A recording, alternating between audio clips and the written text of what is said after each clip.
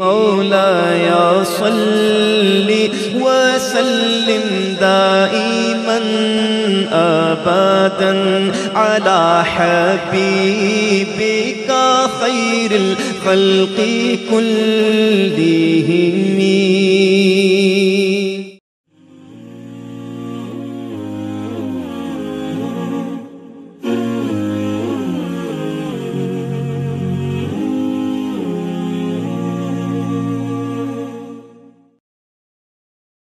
الحمد للہ رب العالمین ولاقبۃ للمتقین والصلاة والسلام علی اشرف الانبیاء والمرسلین وعلى آلہ وصحبہ اجمعین. اما بعد، فاعوذ باللہ السمیع العلیم من الشیطان الرجیم، بسم اللہ الرحمن الرحیم.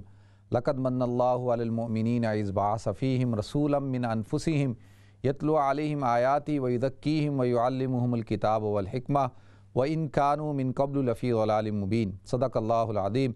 اللہم صلی علی محمد وعلی آل محمد کما صلی تعالیٰ ابراہیم علی ابراہیم انکا حمید مجید۔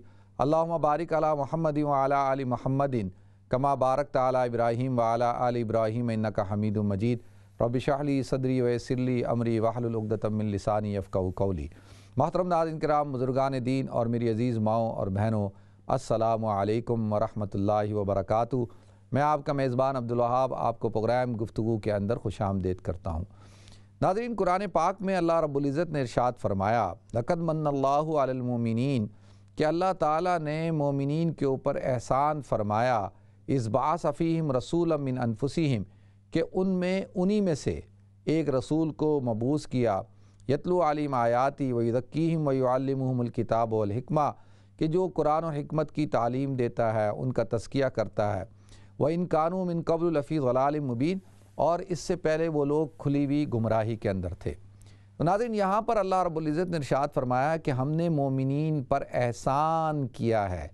یہ مومنین کے اوپر احسان کہ اللہ کے رسول صلی اللہ علیہ وسلم کو مبوس کیا گیا۔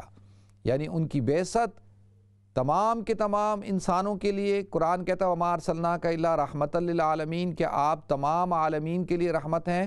تو یہاں پر انسان غیر انسان روح زیرو، جانور، حیوان، حجرات اور شجرات، یہ ساری چیزیں، حجر، شجر، سب کچھ اس میں شامل ہے۔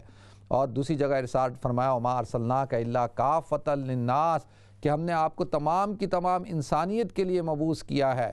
تو یہاں پر رحمت للعالمین کافت للناس، اور پھر اس کے ساتھ ساتھ اللہ تعالیٰ نے ارشاد فرمایا کہ مومنین پر پکا پکا تحقیق ہم نے احسان کیا۔ کہ اللہ کے رسول صلی اللہ علیہ وسلم کو انہی میں سے مبوس کیا۔ ناظرین، یہ بہت بڑا احسان ہے میرے پہ اور آپ پر۔ اور اس احسان کا جو منظر ہے، وہ کل قیامت کے دن حشر کے میدان میں جو ہے، وہ نظر آئے گا۔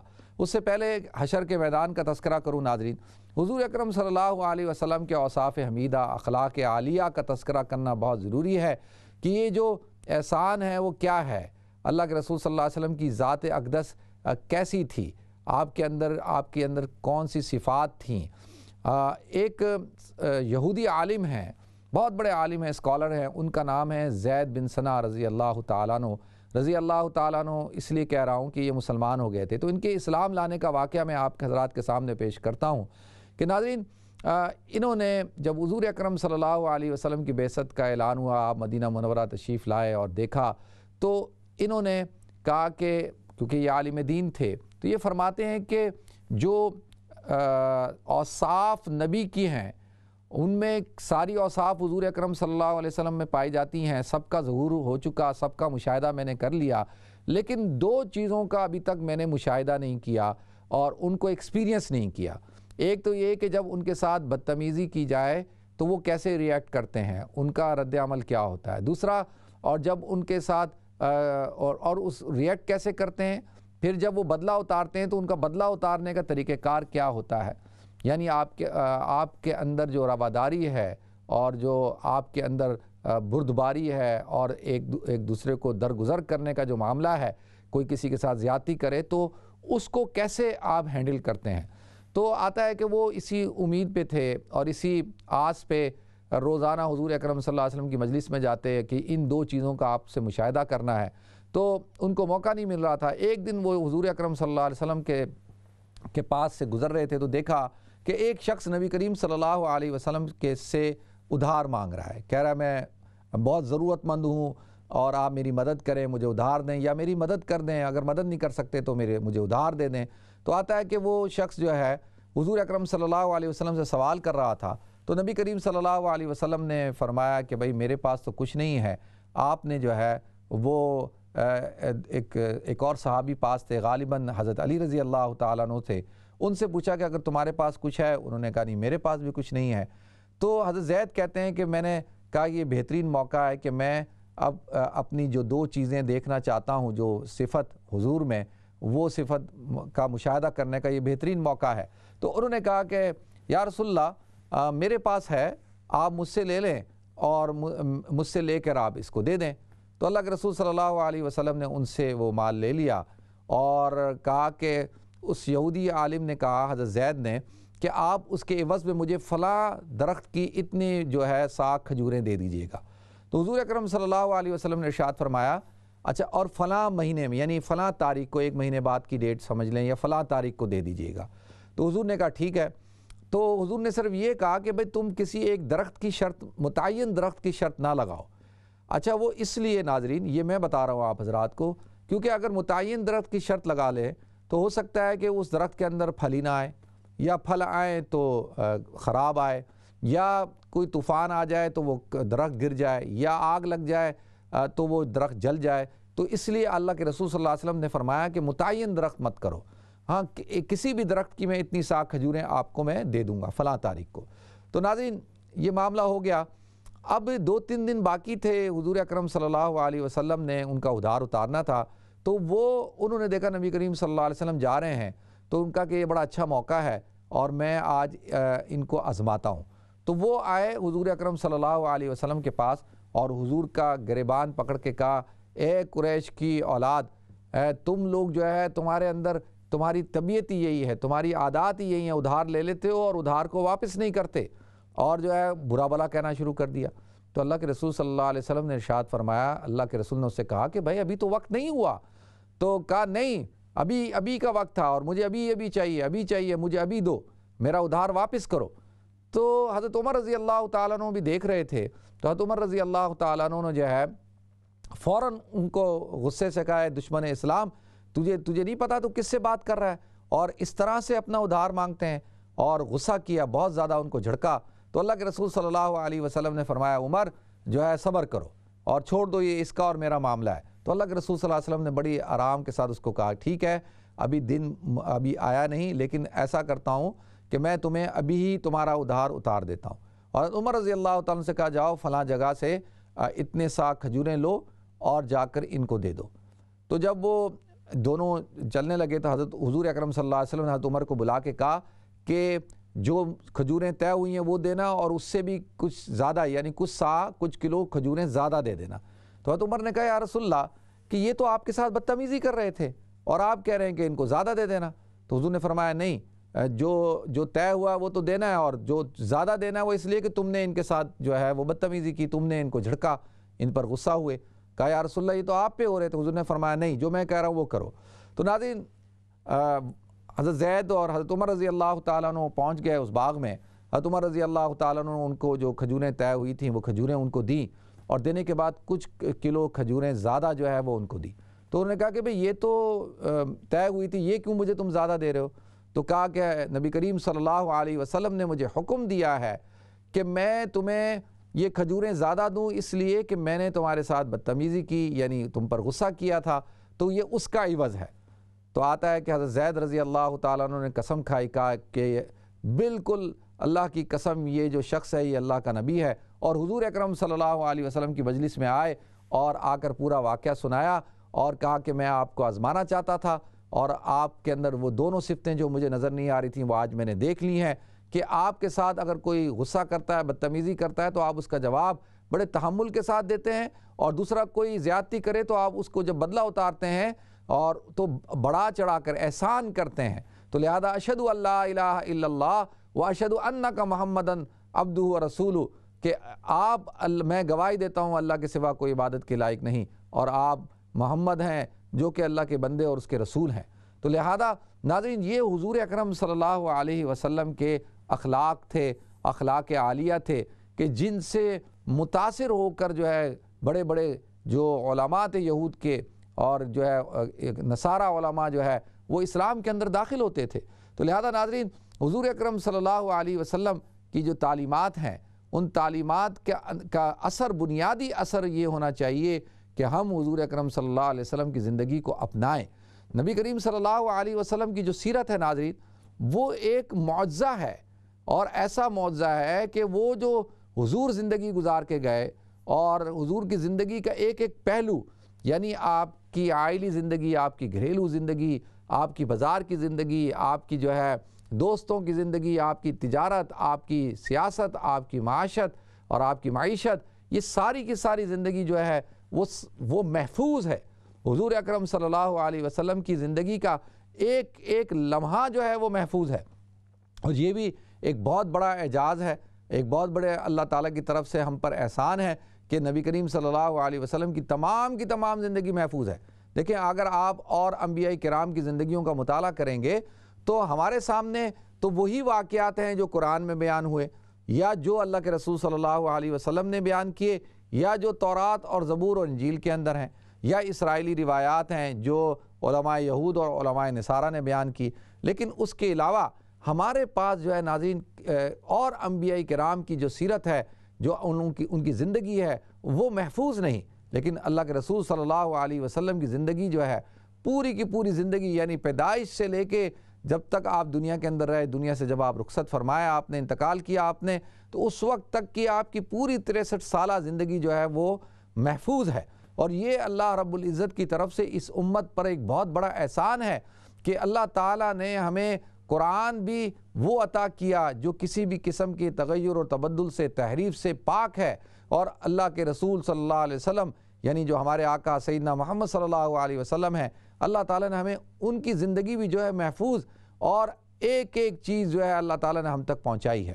تو لہذا یہ حضور اکرم صلی اللہ علیہ وسلم کی تعلیمات تھی آپ کا اخلاق تھا۔ اور انہی اخلاق کو، انہی تعلیمات کو صحابہ کرام نے اپنایا اور تابین نے اپنایا۔ بزرگان دین نے، اولیاء کرام نے اپنایا۔ تو آپ دیکھیں کہ اسلام جو ہے دنیا کے چپے چپے تک پہنچ گیا۔ آج دنیا کا جو، اس زمانے کا جو ایک، جو آپ نقشہ اٹھا کر دیکھیں تو اسلام جو ہے دنیا کے ہر ملک کے اندر پہنچا۔ یہ جو آپ امریکہ اور کینیڈا، تو یہ تو آج کی ایجاد ہیں۔ یہ تو سترہ سو کچھ میں جو ہے وہ ایجاد ہوئے یعنی دریافت ہوئے۔ اس سے پہلے تو یہ بالکل ان کا تو کوئی نقشے کے اوپر کوئی وجود ہی نہیں تھا۔ تو جو اس وقت کا جو نقشہ ہے دنیا کا اس پورے نقشے کے اندر آپ دیکھیں تو صحابہ کرام ہر جگہ تک پہنچے۔ یعنی فرانس تک فرانس سے ایک سو میل دور تک جو ہے تابین جو ہے وہ پہنچ چکے تھے۔ اسی طرح سے اٹلی جو ہے سسلی، وہاں پر بھی مسلمانوں کی تاریخ پائی جاتی ہے۔ تو آپ دیکھیں پورے یورپ اور پورا جو سویلائز ورلڈ تھا کیسر و کسرا ہر جگہ جو ہے اسلام جو ہے وہ پہنچا اور اسلام کی تعلیمات پہنچی۔ اور لوگوں نے اسلام کو قبول کیا اور بزور طاقت قبول نہیں کیا۔ تلوار کے زور پہ نہیں کہ بھائی کئی تلوار رکھ دی ہو گردن کے اوپر اور کہا ہو کہ بھائی اسلام قبول کرو، ورنہ تمہاری گردن کو اڑا دیا جائے گا۔ ایسا کہیں پر بھی نہیں ہوا۔ اور سارے کا سارا اسلام جو پوری دنیا میں پھیلا اور حضور اکرم صلی اللہ علیہ وسلم کی زندگی کے اندر پھیلا، وہ آپ کے اخلاق عالیہ کی وجہ سے تھا۔ آپ کے اوصاف حمیدہ کی وجہ سے تھا۔ آپ کے طرز عمل کی وجہ سے تھا۔ ناظرین آتا ہے کہ حضور اکرم صلی اللہ علیہ وسلم جو ہے، ایک دن آپ جا رہے تھے تو دیکھا راستے میں ایک بوڑھی عورت ہے اور وہ سامان اٹھائے کہیں جاری ہے۔ تو اللہ کے رسول صلی اللہ علیہ وسلم نے اس کا، اس کی مدد کرنے کے لیے جو ہے سامان اٹھا لیا اور آپ اس کے ساتھ چلنا شروع ہو گئے۔ اور پوچھا کہ تم کہاں جا رہی ہو؟ تو اس نے کہا کہ جی میں مکہ چھوڑ کر جا رہی ہوں اور مکہ کے اندر اب حالات بہت خراب ہو گئے۔ مکہ کے اندر ایک شخص ہے جس کا نام محمد ہے اور وہ ایسا شخص ہے، وہ آتا ہے اس کے بارے میں کہ کوئی کہتا ہے وہ جادوگر ہے، کوئی کہتا ہے کہ وہ شاعر ہے کوئی کہتا ہے کہ وہ جو ہے دیوانہ ہے، کوئی کہتا ہے وہ مجنو ہے، اور اس نے کیا کیا ہے کہ لوگوں کو اوپر جادو کر دیا ہے، لوگوں کو اپنے سحر کے اندر مبتلا کر دیا ہے، اور لوگ جو ہے اس کی طرف کھچے چلے جا رہے ہیں، اور جو ہے وہ باپ بیٹے کا مخالف ہو رہا ہے، خاندان کے اندر تفرقہ پڑ چکا ہے، اور بڑے حالات خراب ہیں تو لہذا اب ایسے حالات میں میں مکہ میں رہنا نہیں چاہتی، اور تم بھی جو ہے اس سے بچ کے رہنا۔ تو لہذا حضور اکرم صلی اللہ علیہ وسلم اس کے ساتھ چلتے رہے اور وہ باتیں کرتی رہی۔ حضور جب وہ اپنی منزل پہ پہنچی، حضور نے سامان رکھا۔ تو مجھے کہ وہ وہ حضور اکرم صلی اللہ علیہ وسلم سے کہتی ہیں کہ کیا نام ہے تمہارا؟ تو نبی کریم صلی اللہ علیہ وسلم ارشاد فرمایا کہ میرا نام محمد بن عبداللہ ہے۔ اور وہ جو شخص ہے جس کے بارے میں تم باتیں کر رہی تھی کہ جو جادوگر ہے، جو جو مجنو ہے، دیوانہ ہے، شاعر ہے اور جو ہے لوگوں کے اندر تفرقہ ڈال رہا ہے تو وہ جس شخص کے بارے میں تم باتیں کر رہی تھی، وہ میں ہی ہوں، میرا ہی نام محمد ہے۔ تو لہذا وہ جب حضور اکرم صلی اللہ علیہ وسلم کا چہرہ اقدس دیکھنے لگی اور کہا کہ تمہارا چہرہ اور تمہاری جو یہ جو تم نے اپنے اخلاق کا مظاہرہ کیا ہے، تو یہ بات مجھے وہ سچ نہیں لگتی۔ سب ایسا لگتا ہے کہ سارے جھوٹ بولتے ہیں۔ اور تم جو ہے، اگر محمد ہو، تو اور وہ جس کے بارے میں باتیں کرتے ہیں، وہ وہ محمد تم نہیں ہو۔ کیونکہ تم جو ہے، وہ تمہارا چہرہ اور تمہارے اخلاق ایسے ہیں کہ یہ ساری باتیں جھوٹی ہیں۔ اور لہذا وہ اسی وقت نبی کریم صلی اللہ علیہ وسلم کی کے اوپر ایمان لے آئیں۔ تو لہذا دیکھیں، یہ جو حضور کی جو تعلیمات تھیں، اسی طرح سے ایک بڑا مشہور واقعہ ہے کہ حضور اکرم صلی اللہ علیہ وسلم ایک راستے سے گزرا کرتے تھے۔ ایک یہودن جو ہے یہودی عورت اپنے گھر کی چھت پہ کھڑے ہو کر اور انتظار کرتی تھی۔ جیسے نبی کریم صلی اللہ علیہ وسلم گزرتے تھے، تو آپ کے اوپر جو ہے وہ کچرا پھینکتی تھی۔ تو ایک دفعہ حضور اکرم صلی اللہ علیہ وسلم گزرے تو کچرا اس نے نہیں پھینکا۔ پھر دوبارہ جب دوسرے دن گزرے تو پھر بھی نہیں پھینکا۔ تو حضور بڑے پریشان ہوئے کہ بھئی وہ عورت کہاں گئی جو روزانہ کچرا پھینکا کرتی تھی؟ تو آتا ہے کہ آپ نے پتہ کرایا، تو پتہ چلا کہ جی وہ عورت جو ہے وہ بیمار ہے۔ تو اللہ کے رسول صلی اللہ علیہ وسلم اس کی عیادت کرنے کے لیے تشریف لے گئے۔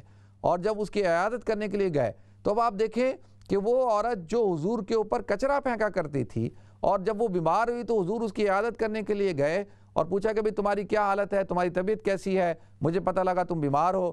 تو اب آپ دیکھیں جب اس کی عیادت کی تو اس کا طرز عمل کیا تھا؟ اس کا رویہ کیا تھا کہ وہ کچرا پھینک رہی ہے اور حضور اس کی عیادت کرنے کے لیے جا رہے ہیں اور اس کی تیمارداری کر رہے ہیں؟ تو لہذا اس استمارداری کے نتیجے کے اندر وہ عورت جو ہے، وہ ناظرین اسلام کے اندر داخل ہو جاتی ہے، وہ مسلمان ہو جاتی ہے۔ تو لہذا ہمارے جو اخلاق ہیں، وہ ہمارے اخلاق ہی اصل میں اسلام کی طرف ایک تبلیغ کا ایک بہت بڑا ذریعہ ہے۔ یہ بات آپ دیکھیں اگر میں کسی کو بولوں کہ بھائی جو ہے اسلام بہت اچھا دین ہے، اسلام بہت اچھا دین ہے، حضور کی تعلیمات بہت اچھی ہیں، تو وہ کہہ کر کہ بھائی بہت اچھی ہیں، بہت اچھی ہیں، بہت اچھی ہیں، لیکن عملی طور پہ تو ہمیں نظر نہیں آتی۔ تم کیا مسلمان ہو؟ بالکل ہاں مسلمان ہوں۔ تو تم جو ہے تمہارے اندر تو وہ تعلیمات نہیں ہیں، تمہارے اندر تو وہ اخلاق نہیں ہے جو تم، تمہارے نبی کے بارے میں، تم اپنے نبی کے بارے میں بتا رہے ہو، جو ہم نے پڑھے ہیں۔ تو لہذا دیکھیں، کہنے سے کچھ نہیں ہوتا۔ یہ جو ایکشن ہوتا ہے، عمل جب انسان عمل کرتا ہے تو وہ عمل جو ہے اس کے اثرات ظاہر ہوتے ہیں۔ آج کیا ہے؟ وہ کہتے ہیں تمہیں اپنے آبا سے نسبت ہو نہیں سکتی۔ وہ کردار اور تم گفتار یعنی وہ کردار کے غازی تھے، ہم گفتار کے ہیں کھلاڑی۔ یعنی ان، وہ اپنے عمل سے لوگوں کو متاثر کرتے تھے۔ اور آج میں اور آپ کیا کرتے ہیں؟ اپنی باتوں سے متاثر کرنا چاہتے ہیں۔ تو لہذا باتوں سے متاثر نہیں ہوا جائے گا۔ ابھی کچھ دن پہلے کی بات ہے کہ ہمارے جو ہیرو کے ڈپٹی میئر ہیں، غزنفر خان صاحب، ان سے ملاقات ہوئی۔ تو وہ بتانے لگے، کہنے لگے کہ یار یہ ہمارے جو لوگ ہیں، خاص طور پہ جو ینگسٹرز ہیں یا مسلمان، یہ چیریٹی ورک نہیں کرتے۔ یہ جو ہے وہ انوالو نہیں ہوتے کمیونٹی کے اندر۔ یہ جو بڑے، بڑی عمر کے لوگ ہوتے ہیں، ان کے ساتھ انوالو نہیں ہوتے۔ یعنی بہت مشکل پیش آتی ہے کہ جو ہے ان کو انوالو کرنے کی تو کیوں نہیں ہوتے؟ اور انہوں نے پھر بتایا کہ بھائی دیکھو کہ دوسری کمیونٹیز کے لوگ جو ہے وہ انوالو ہوتے ہیں اور اور مسلمان کیوں نہیں ہو رہا؟ تو اب آپ یہ سوال اٹھتا ہے کہ بھئی کیوں نہیں ہو رہا مسلمان؟ کیا مسلمان جو ہے وہ صرف کتابوں کے اندر مسلمان رہ گیا ہے؟ کیا مسلمان جو ہے صرف جو ہے وہ نام کا مسلمان رہ گیا ہے؟ کیا وجہ ہے کہ مسلمان جو ہے وہ کیوں نہیں انوالو ہوتا؟ کیوں نہیں جو ہے کمیونٹی ورک کرتا؟ کیوں نہیں خدمت کرتا؟ کیوں نہیں اپنے اخلاق سے لوگوں کو متاثر کرتا؟ کیوں نہیں؟ دیکھیں جو، خاص طور پہ جو ڈے کیئر سینٹر ہیں جہاں پہ بڑی عمر کے لوگ ہوتے ہیں اور وہاں پہ اولڈ پیپل ہوم جو ہے خاص طور پہ اور جو ہاسپٹلز ہیں، وہاں پر وہ بیچارے ان کو ضرورت ہے والنٹیئرز کی۔ لیکن اگر آپ دیکھیں تو کوئی بھی مسلمان والنٹیئر وہاں پہ نہیں ہوگا۔ اور جو ہے ایسی جو آرگنائزیشن ہے جو اسپیشل چلڈرن کے ساتھ، بچوں کے ساتھ ڈیل کرتی ہیں، ان کو والنٹیئر کی ضرورت ہوتی ہے تو کوئی والنٹیئر نہیں ہوتا۔ الحمدللہ ہمارے جو آرگنائزیشن ہے ہماری جو والنٹیئرز ہیں، ان کو جا کے ہیلپ کرتے ہیں۔ تو لہذا عرض یہ کرنی ہے کہ جب تک آپ کا کردار ایسا نہیں ہوگا، آپ کا عمل، میرا اور آپ کا عمل، مجھے تو یہ لفظ بھی کہتے ہوئے برا لگتا ہے کہ آپ کا آپ کا، میں آپ کو نہیں، اپنے آپ کو مخاطب کر رہا ہوں کہ ہم سب کا جب تک کہ وہ کردار نبی کریم صلی اللہ علیہ وسلم سے ملتا جلتا نہیں ہوگا، آپ کی تعلیمات پر جب تک ہم عملی طور پر عمل نہیں کریں گے یعنی صرف پڑھنے کی حد تک اور گفتگو کی حد تک نہیں پریکٹیکلی جب تک ہم نہیں کریں گے، تو ناظرین، اس وقت تک ہم نبی کریم صلی اللہ علیہ وسلم کے امتی نہیں ہیں۔ تو لہذا حضور کے اخلاق کو اپنانا، حضور کی سیرت کو اپنانا، یہ ایک بہت بڑا چیلنج ہے۔ اور یہ اس اور اس سے کیا ہوگا؟ اس سے دیکھیں یہ ہوگا کہ میری اور آپ کی زندگی جو ہے، اللہ تعالیٰ اس زندگی کے اندر جو ہے وہ برکات عطا فرمائیں گے۔ اللہ تعالیٰ ہمیں چین، سکون، اطمینان عطا فرمائیں گے۔ دیکھیں جب ایک انسان کسی سے محبت کرتا ہے، تو اس کے اس کی عادات کو بھی اپناتا ہے، اس کے طور طریقوں کو بھی اپناتا ہے اور اس کے طرز زندگی کو بھی اپناتا ہے۔ یہاں پہ آج دیکھیں ہمارے نوجوان جو ہیں، وہ سوکر کے دیوانے ہیں اور فٹ بالر سے محبت کرتے ہیں، کلبوں سے محبت کرتے ہیں اور کتنے کتنے مہنگے ٹکٹ لیتے ہیں، ان کے میچ دیکھنے کے لیے جاتے ہیں اور اپنے کلبوں کی جو ہے وہ ٹی شرٹیں خریدتے ہیں اور جو ہے اس پہ پیسے خرچ کرتے ہیں اور ان کی طرح سے جو ہے وہ بال کٹواتے ہیں، ان کی طرح سے کپڑے پہنتے ہیں، ان کی طرح سے جو ہے جیسے جوتے وہ پہنتے ہیں، وہ جوتے وہ پہنتے ہیں یعنی ہر چیز ان کی اختیار کرنا چاہتے ہیں، کاپی کرنا چاہتے ہیں۔ لیکن آپ یقین جانیے کہ جن سے آپ محبت کرتے ہیں، یہ جتنے بڑے بڑے سٹارز ہیں، ٹی وی سٹارز ہیں، فلم سٹارز ہیں، یا یہ جو سلیبریٹیز ہیں سپورٹس پرسنالٹیز ہیں آپ سے کتنے لوگ محبت آپ ان سے کرتے ہوں؟ ان کو تو پتہ بھی نہیں ہے کہ آپ لوگ ان سے محبت کرتے ہیں۔ لیکن جو شخص نبی کریم صلی اللہ علیہ وسلم سے محبت کرتا ہے، صحابہ کرام سے محبت کرتا ہے، اولیاء کرام سے محبت کرتا ہے، علماء سے محبت کرتا ہے، تو ان کی محبت جو ہے وہ ہمیں فائدہ پہنچائے گی اور اس وقت فائدہ پہنچائے گی جس وقت ہمیں شدید ضرورت ہوگی جو ہے ان کی سفارش کی۔ تو لہذا حضور اکرم صلی اللہ علیہ وسلم سے محبت کریں۔ اور محبت کا تقاضا کیا ہے، اطاعت کریں۔ لوکان حب کا صادق اللہ اطاعت ان المحب لمن يحب متیو اگر محبت میں تم سچے ہو، تمہاری محبت سچی ہے، تو لوکان حب کا صادق اللہ تو اس کے لیے اطاعت ضروری ہے، کیونکہ ان المحب لمن يحب متیو کہ آدمی جس سے محبت کرتا ہے، اس کی اطاعت کرتا ہے، اس کی فرم برداری کرتا ہے۔ ہم دعویٰ تو کریں کہ جی ایک ایک غلام جو ہے، وہ اپنے آقا سے کہہ کہ جی مجھے آپ سے محبت ہے۔ وہ آقا کہہ کہ بھائی مجھے پانی پلاؤ۔ تو کہہ کہ جی پانی آپ خود پی لیں۔ ہاں مجھے آپ سے محبت وہ کہہ اچھا بھائی میرے لیے جو ہے وہ کھانا لے پکا کے لے آؤ۔ وہ کہ جی یہ میں نہیں کر سکتا، کھانا آپ خود پکا لیں۔ وہ کہہ کہ جی اچھا میرا فلاں کام کر دو۔ وہ کہہ نہیں، فلاں کام نہیں کر سکتا لیکن مجھے آپ سے محبت ہے۔ وہ کہے گا بھائی مجھے ایسی محبت کو کیا کرنا ہے کہ جب تو میری اطاعت نہیں کرتا، جب تو میری فرما برداری نہیں کرتا، تو تو بس دعویٰ کرتا ہے کہ محبت ہے محبت ہے۔ تو ایسی محبت کو میں کیا کروں؟ تو ہمارا بھی یہی حال ہے۔ کہ ہم اللہ کی اللہ کی سے محبت کرتے ہیں تو اللہ کو تو مانتے ہیں لیکن اللہ کی نہیں مانتے۔ حضور اکرم صلی اللہ علیہ وسلم سے محبت کرتے ہیں اور حضور کو مانتے ہیں، حضور کی نہیں مانتے۔ ان کے طریقے کے مطابق زندگی گزارنا نہیں چاہتے۔ تو لہذا آپ سب، میں، ہم سب حضور اکرم صلی اللہ علیہ وسلم سے محبت کریں اور ان کی محبت کے لیے ضروری ہے کہ اطاعت ہو، اطاعت۔ اور جب تک اطاعت نہیں کریں گے، اس وقت تک محبت جو ہے وہ کامل نہیں ہوگی۔ تو اللہ تعالیٰ مجھے آپ کو ہم سب کو عمل کرنے کی توفیق عطا فرمائے اور حضور اکرم صلی اللہ علیہ وسلم سے محبت کرنے کی توفیق عطا فرمائے، اطاعت کرنے کی توفیق عطا فرمائے۔ وہ آخر دعوان الحمد للہ رب العالمین۔ تو ناظرین، ہمیں بریک کی طرف جانا ہے، انشاءاللہ بریک کے بعد حاضر ہوں گے۔ السلام علیکم ورحمۃ اللہ وبرکاتہ۔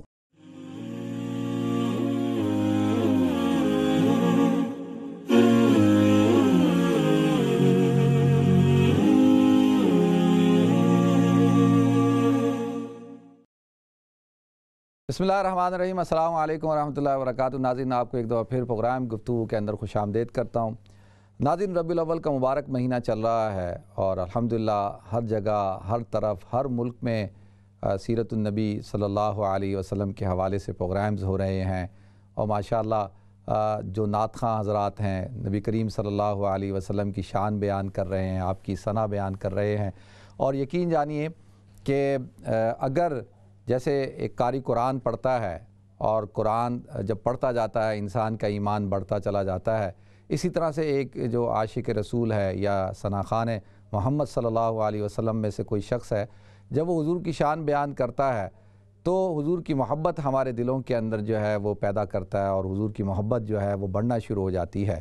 اور وہ اپنے الفاظ کے ذریعے سے، اپنے اشعار کے ذریعے سے نبی کریم صلی اللہ علیہ وسلم کی شان بیان کرتا ہے۔ اور اگر دیکھا جائے تو وہ بھی وہ، وہی سنت اختیار کیے ہوئے جو اللہ تعالیٰ کی ہے۔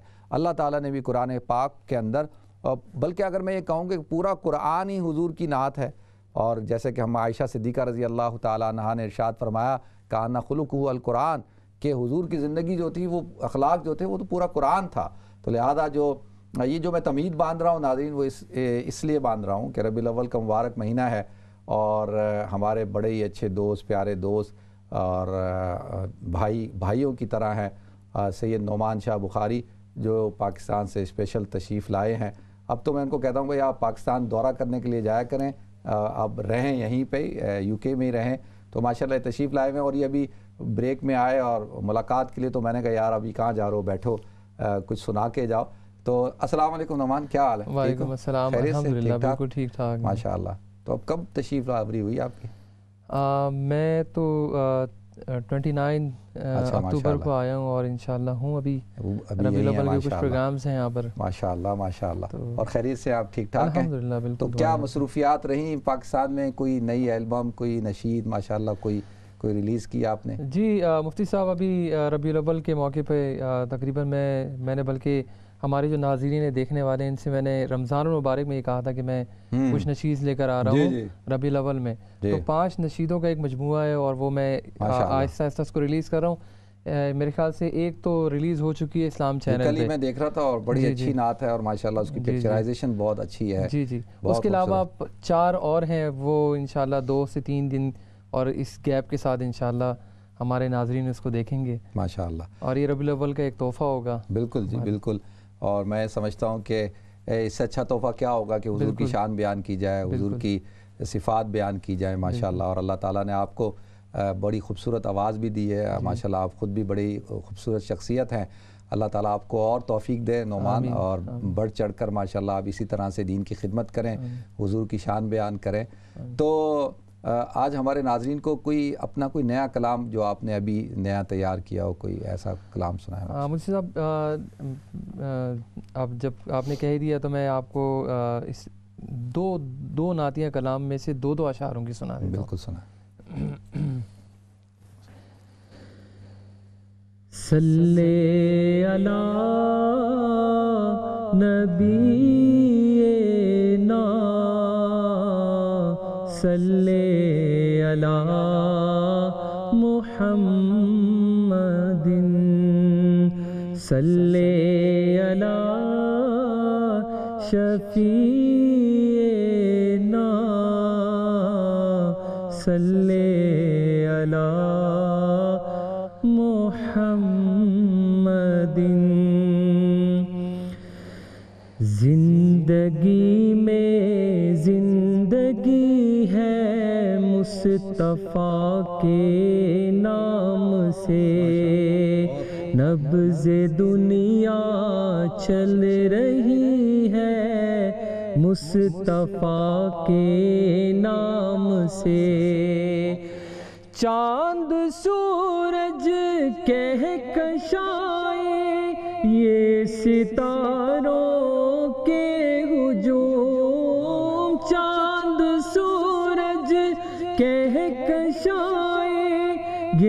ستاروں کے ہجوم روشنی ہی روشنی ہے مصطفیٰ کے نام سے روشنی ہی روشنی ہے مصطفیٰ کے نام سے اپنے تو بے شک ہوئے بہرے کرم سے فیض آپ اپنے تو بے شک ہوئے بہرے کرم سے فیض آپ غیر نے جھولی بھری ہے مصطفیٰ کے نام سے امانت یہ دیانت، یہ صداقت کے اصول، یہ امانت، یہ دیانت، یہ صداقت کے اصول۔ ہر بھلائی بہتری ہے مصطفیٰ کے نام سے۔ دوسری آپ کے سامنے پیش کروں گا۔ یہ سبحان اللہ سبحان اللہ تو آپ نے سنی ہوگی کافی وہ مہر علی شاہ کا جو کلام ہے ایک وہ ہے۔ اس کے دو اشعار آپ کو سنا دیتا ہوں اگر وقت کی کمی نہیں ہے۔ نہیں نہیں وقت کی کمی نہیں آپ دو نہیں تین سنا تین سنا سبحان اللہ سبحان اللہ سبحان اللہ سبحان اللہ کیا عرض و سما، کیا عرش اولا آتی ہے صدائے صلی اللہ، تسلیم و رضا سبحان اللہ رحمت کی ادا ماشاء اللہ سبحان اللہ سبحان اللہ سبحان اللہ سبحان اللہ مکھ چند بدر شاشانی مت چمکے لاٹھ نورانی مت چمکے لاٹھ نورانی کالی زلفت اکھ مستانی مخمور اکھی ہن مد بھریا سبحان اللہ سبحان اللہ سبحان اللہ سبحان اللہ۔ اخلاق کی اعلیٰ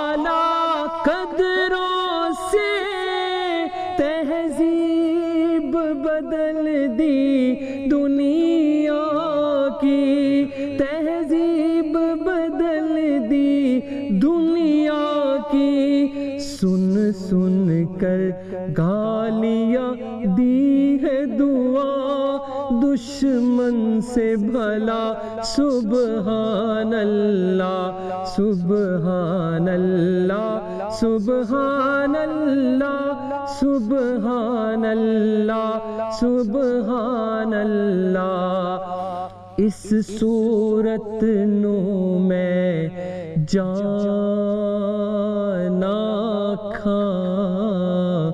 جانا کھکے جانے جہانا کھا۔ اس صورت نو میں جان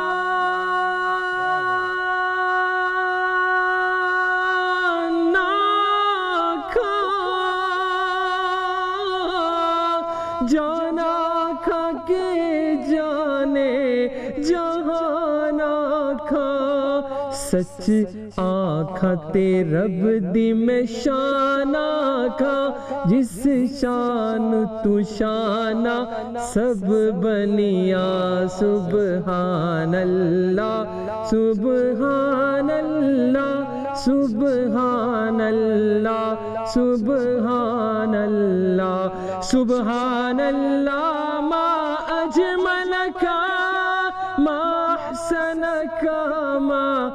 اکملک ما احسنک ما اکملک کتھے مہر علی، کتھے تیری سنا گستاخ اکھیاں کتھے جا اڑیاں سبحان اللہ سبحان اللہ سبحان اللہ سبحان اللہ کیا عرض و سما، کیا عرش اولا آتی ہے صدائے صلی اللہ تسلیم و رضا.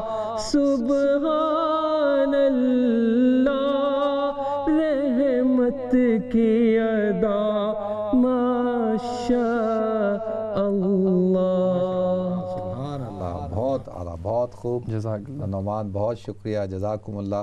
تمہارے ٹائم کا اللہ آپ کو برکت دے جی. اور پھر انشاءاللہ کسی اور محفل میں ملاقات کریں گے. بہت شکریہ۔ نعمان آپ جزاکم اللہ. بہت بہت شکریہ. تو ناظرین یہ تھے سید نعمان شاہ بخاری اور یقینی طور پر آپ حضرات کے ایمان میں بھی اور آپ حضرات کی محبت میں بھی اضافہ ہوا ہوگا اور اللہ تعالیٰ ان کو اسی طریقے سے نبی کریم صلی اللہ علیہ وسلم کی شان بیان کرنے کی توفیق عطا فرمائے اور ان کی آواز کے اندر اللہ تعالیٰ اسی طرح سے درد کو اور سوز کو اللہ تعالیٰ جو رکھا ہے اللہ نے اس کو جاری اور ساری رکھے۔ تو ناظرین گفتگو کے سلسلے کو، پروگرام کے سلسلے کو آگے لے کر چلتے ہیں۔ نبی کریم صلی اللہ علیہ وسلم غزوہ ذات الرقا کے موقع پر آپ تشریف لے جا رہے تھے، واپس آ رہے تھے۔ تو حضرت جابر بن عبداللہ رضی اللہ تعالیٰ عنہ بھی حضور اکرم صلی اللہ علیہ وسلم کے ساتھ تھے۔ تو آپ کا جو سفر میں حضور صلی اللہ علیہ وسلم آگے تھے اور حضرت جابر جو ہے وہ پیچھے پیچھے آ رہے تھے۔ یعنی بہت ہی پیچھے پیچھے تو حضور اکرم صلی اللہ علیہ وسلم رکے اور جب حضرت جابر رضی اللہ تعالیٰ عنہ حضور کے پاس آئے تو حضور نے فرمایا کہ کیوں تم پیچھے پیچھے آ رہے ہو؟ تمہاری وجہ سے پورا قافلہ جو ہے وہ ہلکا چل رہا ہے۔ کیا وجہ ہے؟ تو کہا، یا رسول اللہ، یہ جو اونٹ ہے، یہ اونٹ جو ہے وہ انتہائی کمزور ہو چکا ہے، بیمار ہو چکا ہے۔ تو یہ چلتا ہی اتنا سلو ہے کہ میں آپ حضرات کے ساتھ چل ہی نہیں پا رہا۔ تو اللہ کے رسول صلی اللہ علیہ وسلم نے فرمایا کہ وہ جو اونٹوں کو دیکھیں، جب آپ اونٹوں کو چلاتے ہیں نا، تو آپ کے ہاتھ میں ایک باریک سی چھڑی ہوتی ہے اور وہ اس سے آپ اونٹ کو ہانکتے ہیں، ہلکا ہلکا اونٹ کو مارتے ہیں، تو اونٹ چلنا شروع ہو جاتا ہے۔ تو لہذا حضور اکرم صلی اللہ علیہ وسلم نے وہ چھڑی حضرت جابر کے ہاتھ سے لی اور تین دفعہ اونٹ کو جو ہے ہلکا ہلکا سا مارا اور کہا، جابر، اب اس پہ بیٹھ جاؤ اور اب اس کو اس کو چلاؤ، اب اس پہ سواری کرو۔ تو آتا ہے ناظرین کہ اب جو ہے وہ اونٹ جو ہے وہ تیزی کے ساتھ چلنا شروع ہو گیا۔ اور اتنا تیزی کے ساتھ چل رہا ہے کہ نبی کریم صلی اللہ علیہ وسلم بھی اپنی سواری پہ ہیں، وہ حضرت جابر بھی اپنی سواری پہ اس اونٹ پہ ہیں اور ساتھ ساتھ چل رہے ہیں تو حضور اکرم صلی اللہ علیہ وسلم نے اب حضرت جابر رضی اللہ تعالیٰ کے ساتھ بات چیت کرنا شروع کر دی۔ تو آپ نے فرمایا کہ بھئی جابر، کیا تم اس اونٹ کو جو ہے مجھے فروخت کرو گے؟ تو حضرت جابر نے کہا کہ یا رسول اللہ میں آپ کو ایسے ہی دے دیتا ہوں۔ فروخت کی کیا ضرورت ہے؟ میں آپ کو جو ہے وہ ہدیہ کر دیتا ہوں۔ نہیں، اللہ کے رسول صلی اللہ علیہ وسلم نے ارشاد فرمایا، نہیں، ہدیہ نہیں کرو، بلکہ تم مجھے فروخت کر دو۔ اور اسی دوران آپ سے پوچھا کہ جابر، تم نے جو ہے وہ شادی کر لی؟ کہا ہاں، بالکل شادی کر لی۔ کیونکہ حضور نے فرمایا کہ ہم نے شام ہونے سے پہلے جو ہے مدینہ کے باہر پڑاؤ ڈالنا ہے تاکہ ہماری عورتوں تک پیغام پہنچ جائے، وہ اپنے قالینوں اور غلیچوں کو جو ہے وہ صاف کر لیں یعنی اپنے گھر کو صاف ستھرا کر لیں، اپنے آپ کو صاف ستھرا کر لیں۔ اور اس کے بارے میں میں انشاءاللہ بعد میں بات بتاؤں گا کیوں، کہ جب آپ سفر میں جاتے ہیں تو کیوں کہا گیا کہ بھئی جو ہے عورتوں کو، گھر والوں کو اطلاع کریں؟ تو وہ انشاءاللہ میں بعد میں بتاتا ہوں، لیکن اس اس بات کو میں مکمل کر لوں۔ تو حضرت جابر نے کہا، یا رسول اللہ، میرے پاس کہاں پہ قالین اور غلیچے؟ میں تو غریب آدمی ہوں۔ تو حضور نے فرمایا اچھا کہ تمہاری شادی ہو گئی؟ انہوں نے کہا، بالکل شادی ہو گئی۔ اور کہا کہ کس سے شادی کی؟ کہا، یا رسول اللہ، ایک خاتون ہیں جو بڑی عمر کی ہیں، سیبہ ہیں، ان سے شادی کی۔ اور کہا، کیوں؟ تو کہا کہ اس لیے کہ میرے والد صاحب کا غزوہ عہد میں ان کی شہادت ہو گئی تھی۔ تو لہذا میری جو بہنیں ہیں، وہ سات بہنیں ہیں اور وہ وہ خود بڑی عمر کی ہیں۔ تو لہذا اگر میں کسی چھوٹی عمر کی خاتون سے شادی کرتا، تو وہ میری بہنوں کو کہاں سے سنبھالتا، سنبھالتی؟ تو لہذا میں نے ایک بڑی عمر کی عورت سے شادی کی تاکہ وہ میری بہنوں کو لک آفٹر کرے، ان کو سنبھالے۔ تاکہ جو ہے وہ ان کو جو ہے وہ ان کے لیے ماں کا کی ذریعہ بنے اور ان کو لک آفٹر کرے۔ تو حضور نے فرمایا کہ تمہارے لیے بہتر تھا کہ تم ایک باقرہ نوجوان عورت سے شادی کرتے تاکہ تم دونوں ایک دوسرے کے ساتھ، محبت کے ساتھ رہتے۔ تو لہذا کہا، چلو ٹھیک ہے، تمہارے پاس ایک ویلڈ ریزن ہے، اس لیے تم نے جو ہے بڑی عمر کے عورت سے شادی کی۔ یعنی آپ نے ان کے حالات کو لے لیا۔ میں مختصراً عرض کر رہا ہوں تو ناظرین، حضور نے فرمایا کہ یہ مجھے تم بیچ دو۔ نے کہا یا رسول اللہ، ٹھیک ہے، میں آپ کو بیچتا ہوں۔ تو کتنے کا حضور نے کہا ایک درم کا؟ انہوں نے کہا نہیں، یا رسول اللہ، ایک درم تو بہت کم ہے۔ تو کہا نہیں اچھا حضور نے اب قیمت بڑھانا شروع کی کی کی، تو کئی درم تک بات پہنچ گئی، یہاں تک کہ کئی اوکیا سونے تک بات پہنچ گئی۔ تو حضور نے فرمایا، ٹھیک ہے، اب یہ میری تمہاری ڈھیل ہو گئی اور جو ہے میں مدینہ میں جا کر تم سے جو ہے یہ اونٹ لے لوں گا۔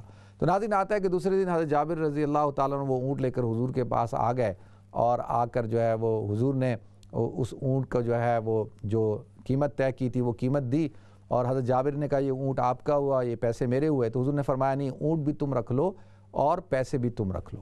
تو لہذا ناظرین، میں نے یہ واقعہ اس لیے آپ حضرات کے سامنے عرض کیا کہ نبی کریم صلی اللہ علیہ وسلم کے اخلاق آپ دیکھیں کہ آپ کے ایک صحابی ہیں، ادنا صحابی ہیں۔ آپ ان کو کس طرح سے ان کے حالات کو معلوم کرتے ہیں اور ان کی مدد کرتے ہیں۔ یہ حضور اکرم صلی اللہ علیہ وسلم کا اسوا تھا۔ تو اللہ تعالیٰ مجھے بھی اور آپ کو بھی ہم سب کو توفیق عطا فرمائے کہ ہم ان کے اوصاف کو اپنائیں ان کی سنتوں کو اپنائیں۔ تو دیکھتے ہیں ہمارے ساتھ کالر کون ہے۔ السلام علیکم۔ مفتی صاحب ٹھیک ہو الحمدللہ میں ٹھیک ہوں۔ آپ خیریت سے ٹھیک ہیں؟ جی الحمدللہ۔ جی۔ مفتی صاحب آپ کو کہنا تھا کہ مجھے نا پتا چلا ہے کہ مجھے بریسٹ کینسر ہے نا۔ تو آپ کچھ پڑھنے کے لیے بتائیں اور آپ سب میرے لیے دعا کریں کہ اگلے ہفتے اپوائنٹمنٹ ہے تو بس دعا کرتی ہوں۔ بیماری بھی اللہ تعالیٰ لگاتے ہیں شفا بھی وہی دیتے ہیں۔ بس سکون رہے نا بس کوئی اچھا چلیں میں میں انشاءاللہ آپ کو بتاتا ہوں جی۔ ٹھیک ہے جی؟ آپ بتائیں کہ میں پڑھوں نا نہیں، میں آپ کو پڑھنے کے لیے بھی- وہ ادھر خیال بھی نہ کروں۔ نہیں نہیں پڑھنے کے لیے بھی بتاتا ہوں انشاءاللہ۔ آپ پروگرام دیکھیں بہت شکریہ آپ کی کال کا جزاکم اللہ۔ نیکسٹ کال لیتے ہیں جی۔ السلام علیکم۔ وعلیکم السلام ورحمۃ اللہ وبرکاتہ۔ مفتی صاحب کیسے ہیں؟ الحمدللہ میں ٹھیک ہوں۔ آپ خیریت سے ہیں؟ زبیری صاحب خیریت سے ہیں؟ ہاں ٹھیک اللہ کا بڑا فضل ہے۔ میں آپ کی وساطت سے توتی مصطفیٰ صلی اللہ علیہ وسلم یہ آپ کے ساتھ میرے چھوٹے بھائی کہہ رہے ہیں یا بڑے بھائی کہہ رہے ہیں جس طرح بھی ان کو بھی السلام علیکم۔ ورحمۃ اللہ وبرکاتہ۔ میرے بھائی آپ یہ سلسلہ جو آپ نے جاری رکھا ہوا ہے کرتے رہیں۔ لوگوں کی باتیں نہ سنیں۔ ہم نے اگر رسول اکرم صلی اللہ علیہ وسلم کی تعریف نہ کریں تو ہم نے کس کی کرنی ہے جس کے متعلق اللہ تعالیٰ کی ذات نے یعنی قرآن کے ایک سرے سے لے کر جیسا کہ آپ نے فرمایا کہ دوسرے سرے تک آخر تک حضور کی ساری تاریخ ہی اور مدہ سرائی میں جی، جی۔ ساری باتیں ہوئی ہیں تو ہم ان کی تعریف نہ کریں تو کس کی کریں گے۔ جی جی۔ تو میں اسی پہ اتفاق کرتا ہوں چونکہ طبیعت ٹھیک نہیں ہے تو میں اللہ آپ کو صحت دے جی۔ اللہ آپ کو صحت عطا فرمائے جی۔ بہت شکریہ السلام علیکم ورحمۃ اللہ۔ وعلیکم السلام۔ نیکسٹ کال لیتے ہیں جی۔ السلام علیکم۔ وعلیکم السلام۔ جی نقشبندی صاحب خیریت سے ہیں آپ؟ حضرت؟ صاحب بات یہ ہے کہ میں ربیع الاول کا مہینہ ہے اور سرکار کی حدیث ہی آپ کی خدمت میں پیش کروں گا اور مجھے کم از کم دو ڈھائی منٹ دیجیے گا تاکہ میں اپنی بات مکمل پھر آپ ضرور اس پر کوئی ارشاد بھی فرمائیے گا۔ جی جی۔ بات یہ ہے کہ نبی کریم صلی اللہ علیہ وسلم نے فرمایا کہ الکفر و ملت واحدات۔ تمام دنیا کے کافر قوم میں اہل کتاب جنہوں نے اسلام نہیں لائے عیسائی یہودی وہ بھی کفر کے زمرے میں شامل ہیں۔ اسی طریقے سے بابا گرو نانک پانچ سو پچاس سال پہلے آئے، وہ تو اہل کتاب بھی نہیں ہے اور ان کے جو لوگ آتے ہیں، وہ سجدہ بھی کرتے ہیں۔ ک- مشرکوں کے لیے اللہ تعالیٰ نے مکے کو مشرق کہا ہے۔ اور اللہ تعالیٰ قرآن میں فرماتے ہیں کہ شرک سے نیچے نیچے ہر چیز میں معاف کر سکوں، شرک نہیں معاف کروں گا۔ اب جو لوگ یہ حضرت صاحب کہتے ہیں کہ پی ٹی آئی کی حکومت نے یہ بہت اچھا کارڈ چلا ہے، کل آپ بھی فرما رہے تھے، تو آپ کی خدمت میں عرض کروں کہ انڈیا پاکستان جب سپلٹ ہوا تو سکھوں نے آپ ٹوک انڈیا کے ساتھ کیا تھا اور اس کے بعد بری فوجی اور بری فوج میں، بحری میں، ہوائی میں بڑے بڑے عہدوں پر سکھ ہیں۔ تو یہ لوگ غلط فہمی میں مبتلا ہیں کہ کوئی ایسا معاملہ آئے گا، کشمیر کاج میں سکھ ہماری مدد کریں گے یا کوئی ایسی بات ہے، بالکل ہر چیز ایسے نہیں ہوگا۔ چلیں ٹھیک ہے نقشبندی صاحب۔ اور میں نے کل اس پہ تفصیل سے گفتگو کر لی تھی اور میں یہ سمجھتا ہوں کہ اب زیادہ ہم اس موضوع پہ، کیونکہ یہ تو اب ایسا ہو جائے گا، پھر ایک پولیٹیکل شو بن جائے گا۔ ہاں آپ سوال پوچھیں، میں جواب دوں گا اور کل میں نے اس پہ تفصیل سے گفتگو بھی کی تھی۔ نیکسٹ کال لیتے ہیں جی۔ السلام علیکم۔ السلام علیکم۔ جی وعلیکم السلام۔ مفتی صاحب آپ سے ہم نے پوچھنا تھا کہ عورتوں کا قبرستان میں جانا منع کیا گیا ہے یا جا سکتی ہیں عورتیں؟ آپ پلیز اس بارے میں تھوڑا بتا دیجیے۔ چلیں ٹھیک ہے۔ اور کوئی سوال ہے آپ کا؟ جی بس یہی پتا ٹھیک ہے میں عرض کرتا ہوں۔ بہت شکریہ۔ نیکسٹ کال لیتے ہیں۔ جی السلام علیکم۔ السلام علیکم ورحمۃ اللہ وبرکاتہ۔ وعلیکم السلام ورحمۃ اللہ وبرکاتہ۔ کیسے ہیں مولانا؟ الحمدللہ میں ٹھیک ہوں اللہ کرم شکر اللہ۔ کافی دنوں بعد آپ کا پروگرام دیکھ رہے ہیں۔ اچھا۔ چھٹیاں تھیں آپ کی لگتا ہے؟ نہیں نہیں میں آ گیا تھا ویسے پچھلے ہاں، اسپین گئے ہوئے تھے آپ۔ نہیں وہ تو میں گیا ہوا تھا میں تو آ بھی گیا پچھلے ہفتہ پروگرام کیا تھا میں نے۔ اچھا اچھا میں میں نے نہیں دیکھا۔ اچھا ہاں بالکل ابھی وہ لگتا ہے ایسے ہی ہے کہ بھائی زیادہ سفر میں رہتا ہوں نا میں۔ اچھا کیا سوال ہے آپ کا؟ ہاں جی میرا سوال ہے میرے پوتی ہوئی نا بڑی کا ہم نے رکھا تھا نا رفقا نام اور جی۔ دوسری کا رکھا ہے علیزہ علیزہ اور علیزہ اس کا مطلب کیا ہے؟ دوسرا یہ نام ہم لوگوں نے سنا ہے ایسا کہ کہتے ہیں کہ حضرت علی کی بیٹی کا نام تھا۔ اچھا یہ بات کتنی کیا ہے کس طرح ہمیں تھوڑا سا واضح کر دیں؟ چلیں ٹھیک ہے۔ مسئلہ بھی بتا دیجیے گا۔ ٹھیک ہے انشاءاللہ میں بتاتا ہوں۔ ٹھیک ہے بہت شکریہ آپ کی کال کا جزاکم اللہ۔ نیکسٹ کال لیتے ہیں جی السلام علیکم۔ السلام علیکم۔ جی وعلیکم السلام ورحمۃ اللہ وبرکاتہ۔ جی؟ جی جی آپ فرمائیں آپ آن ایئر ہیں آپ بات کریں۔ آپ ٹی وی کی آواز کم کر دیں نا۔ اگر آپ ٹی وی کی آواز بند کریں گے تو پھر میری آواز ریپیٹ نہیں ہوگی۔ اچھا تو ایک تو دیکھیں جو آنٹی نے کہا ہے کہ جی ان کو برسٹ کینسر ہو گیا ہے۔ اچھا اللہ تعالیٰ اپنا فضل فرمائے گا جی آپ دیکھیں آج کل تو ایسا ہو چکا ہے کہ کینسر کی بیماری تو بہت عام ہو چکی ہے اور برسٹ کینسر تو بہت ہی زیادہ عام ہے اور یہ اتنا کوئی خطرناک بھی نہیں ہوتا لیکن کیونکہ کینسر کا لفظ سنتے ہی جو لوگ جو ہیں وہ بیچارے آدھے تو بیمار اور زیادہ ہو جاتے ہیں اور پریشان ہو جاتے ہیں تو لہذا ایک تو یہ ہے کہ پریشان نہ ہو، ہمت سے کام لیں اور انشاءاللہ اللہ تعالیٰ آپ کو صحت عطا فرمائیں گے اور تین نام ہیں، یا مالکو یا قدوسو یا سلامو۔ یا مالکو یا قدوسو یا سلامو تین نام ہیں۔ تین سو تیرہ دفعہ روزانہ پڑھا کریں، انشاءاللہ دیکھیں، اللہ تعالیٰ اپنا فضل فرمائیں گے اور ہم بھی آپ کے لیے دعا کریں گے کہ اللہ تعالیٰ آپ کو صحت عطا فرمائے۔ تو دوسرا نقش بندی صاحب جیسے میں نے پہلے عرض کیا تھا کہ دیکھیں پاکستان، ابھی جو پاکستان ہے، پاکستان کے اندر جو پاکستان کا جو آئین ہے، اس آئین کی روح کے مطابق پاکستان میں جتنی بھی مذاہب کے رہنے والے لوگ ہیں، جتنی بھی اقلیتیں ہیں، ان سب کی مذہبی عبادت گاہوں کا تحفظ اور ان کی مذہبی جو رسومات ہوتی ہیں ان کے تحفظ پاکستان کی کی ذمہ داری ہے، حکومت کی، ریاست کی ذمہ داری ہے، آئینی ذمہ داری ہے یہ۔ ٹھیک ہے؟ تو میں نے یہ بات عرض کی تھی کہ ہرگز یہ جو ہے، آپ کوئی کہے کہ جی پاکستان کے اندر جتنے ہندو رہتے ہیں، ان کو خدا نخواستہ میں تو الفاظ بھی استعمال کر نہیں کرنا چاہتا کہ جی ان کو ان کو نکال دیا جائے یا ان کو ان کو مارا جائے مندروں کو توڑ دیا جائے، تو یہ ہرگز ہرگز شریعت اس بات کی اجازت نہیں دیتی۔ یہ بات ہمیں ذہن میں بٹھا لینی چاہیے، ٹھیک ہے؟ تو اس میں تو کوئی دو رائے نہیں ہے۔ تو اب ہمیں پاکستان میں ان کی جو عبادت گاہیں ہیں، جتنے بھی ان کے مراکز ہیں، وہ ان سب کی، ان کو پروٹیکشن حاصل ہے اور ان کو عبادت کرنے کا حق ہے، ٹھیک ہے جی؟ تو اللہ تعالیٰ مجھے بھی توفیق دے، آپ کو بھی توفیق دے۔ حضور کی تعلیمات کو سمجھنے کی ناظرین بریک کی طرف جانا ہے، انشاءاللہ بریک کے بعد حاضر ہوتے ہیں۔ السلام علیکم ورحمۃ اللہ وبرکاتہ۔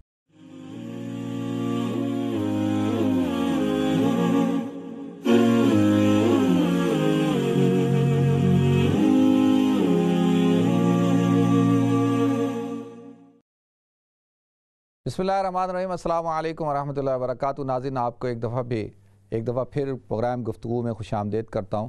ناظرین، میں ابھی کچھ کل کی بات ہے کہ وہ ایک کلپ دیکھ رہا تھا، ایک عالم صاحب، بہت بڑے عالم ہیں۔ وہ تقریر کر رہے تھے تو اس میں وہ یہ بتا رہے تھے کہ جی سکھوں نے ہمارے ساتھ یہ زیادتی کی سکھوں نے ہماری عورتوں کو اٹھایا، سکھوں نے یہ کیا، سکھوں نے وہ کیا۔ اور بہت زیادہ جو ہے وہ سکھوں کی برائیاں بیان کر رہے تھے اور تنقید کر رہے تھے۔ تو بالکل آپ کو حق ہے آپ تنقید کریں گورنمنٹ کے کسی بھی پالیسیز کے اوپر آپ تنقید کریں، پورا آپ کو حق ہے۔ اور اس میں کوئی دو رائے نہیں ہے، آپ حق، بالکل آپ اپنا حق استعمال کریں۔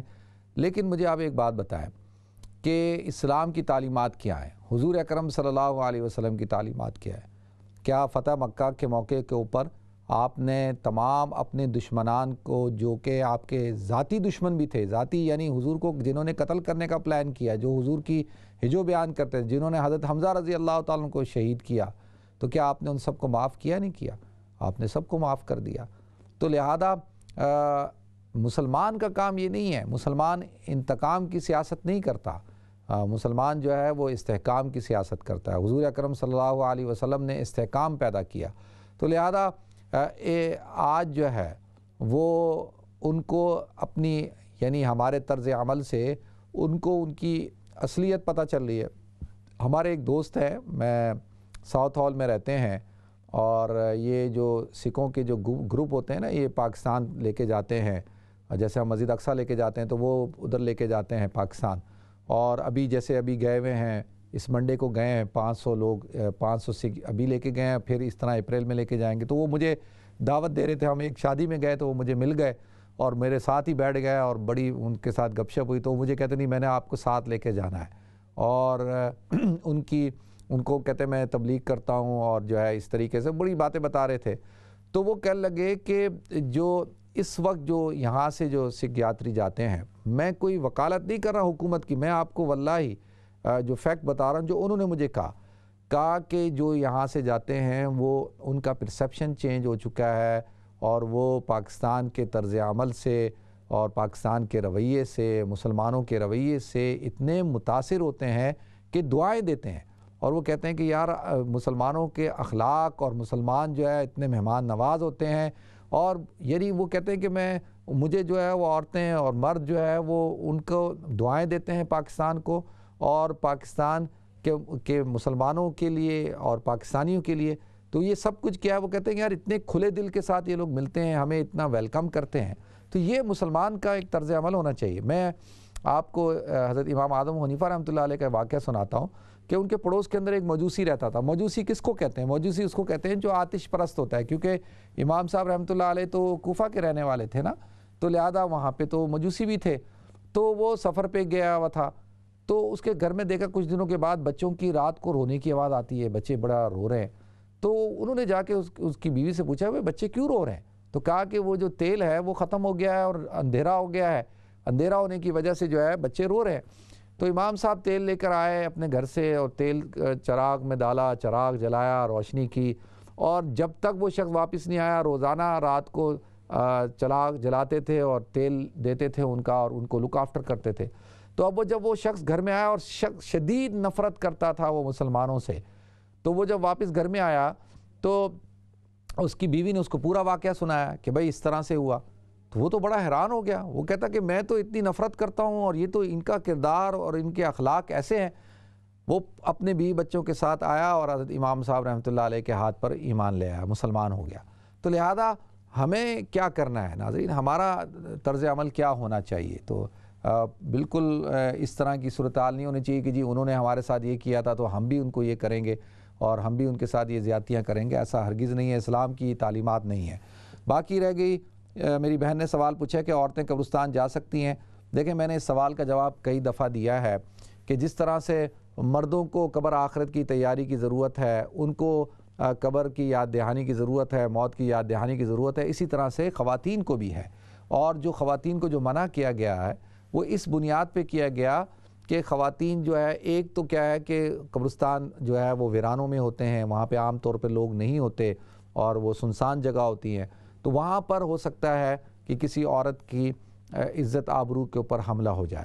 تو لہذا اس کی عزت آبرو کی حفاظت کے لیے۔ دوسرا یہ کہ عورتیں اکثر زیور وغیرہ پہنی بھی ہوتی ہیں تو کہ ان کی زیور، ان کو لوٹ سکتا ہے۔